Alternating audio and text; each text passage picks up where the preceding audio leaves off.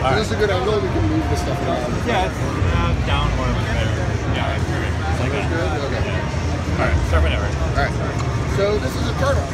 Uh, it's a strategy card game published by Dire Wolf Digital. And in Eternal, you have power cards in your hand that you play, and they allow you to cast spells, summon units, forge weapons, do that kind of stuff. So right now we're playing a Fire Justice deck, and we're going to play an Oni Ronin.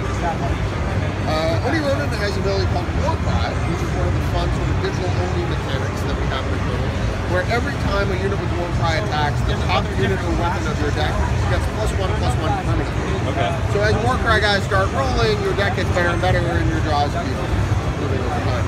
Okay. Right now in the demo, we're playing against the AI, um, but there's a bunch of AI and PvP modes uh, in the game both limited and constructed formats. Okay. So we're going to attack Oni Ronin, and we're going to get in there. The object is to reduce your opponent's health to zero, and so we're off to a good start this. The Rakano Outlaw has both Warcry, like the Oni, and Quick Draw. Quick Draw is an aggressive ability, so makes it better at attacking. If it doesn't have damage to defeat uh, the unit that's blocking it, it doesn't take damage back. And it only works while it's attacking. Guys in. And we're getting Lightning Strike. So Lightning Strike is one of the fast spells in the game. Uh, makes it so that you're never totally safe on your opponent's turn. Now, is this is this turn based, or are they able to interrupt your turn like magic, or?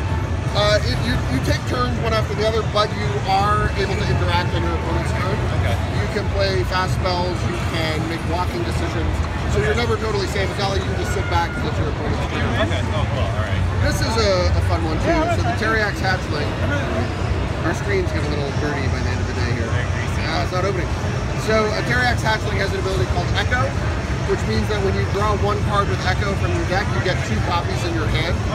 So there's a lot of fun stuff that you can do there. Uh, we're going to play an Outland Sniper. So it is normally a 2-2, and it's gotten bigger because of Warcry from the other units that came before it. Okay. So we're going to play an Outland Sniper and shoot down the Teriax Hatchling, Do you have to play it each time or now since I played when I'm and then get in with our guys. fire? Okay. There are five factions in Eternal. Right now, we are playing a Fire Justice deck, and the AI is playing a Time Primal deck. Uh, the other faction is Shadow. And when you're building a deck for constructed play, it's 75 cards that you can combine from all five factions however you like. There are no restrictions. Players can build and discover anything they can think of. What is your average like session time you're playing? It's a very quick game. Uh, we're playing a little bit slow here, but normally a game will take around five or six minutes. Oh, okay. Um, you know, it's very fast to pick up and play, but there's a lot of depth to it. And one of the things we're really looking to do with the game is that's why you're saying to sort of take the video game aesthetic and the pace and polish of AAA titles that are coming out now and find uh, the strategic depth of some of the you know, Okay. deeper, richer card games that we really love. Cool. So is this is this out now or? Uh, we're in beta right now, uh, ramping up towards uh, open, we're in closed beta, ramping towards open beta and launch. Um, we've got a great growing community of players inside the So you beta. For those who are interested in joining the beta, you can find us at eternalcardgame.com Okay. or uh, in our social channels under those same names. Cool. Uh, thanks for this. It's really neat. Awesome. Yeah, no, it's a lot of fun.